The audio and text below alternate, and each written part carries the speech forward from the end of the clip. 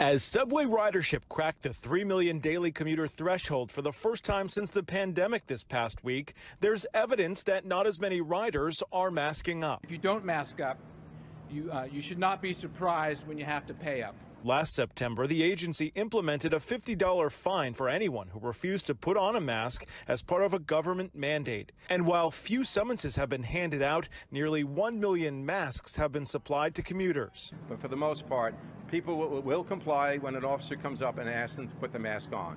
And again, if they don't have one, we happily supply them with one. However, the MTA says subway riders have the lowest compliance at 87%, compared to 90% on commuter rails and 94% on buses. While the MTA police will be out at transit hubs, the mayor says the NYPD will not be in the business of enforcement. That's not something we focus on, but educating people, reminding people, giving them a mask, those are the right things to do. And officials want you to leave mask patrol to them. Riders should not get into confrontations with other riders. Uh, that's that's uh, uh, something for the police and other security forces to do.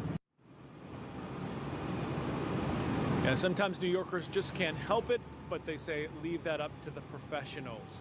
At this point, uh, according to the uh, MTA, back in early 2021, compliance was near 100%. So because it has dipped so much, that is why they are starting this blitz today, reminding people. They say over the past year, MTA police have had about 90,000 what they call positive interactions with people who have forgotten the rules.